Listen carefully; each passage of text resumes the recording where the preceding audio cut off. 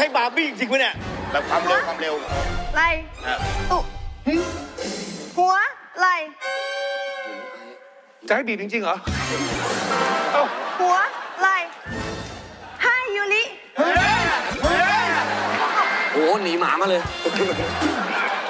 เฮ้ยพี่เห็นไหมทำไมบาร์บี้พี่ตลกจังเลยอะเขาเป็นคนน่ารักอย่างนี้แหละ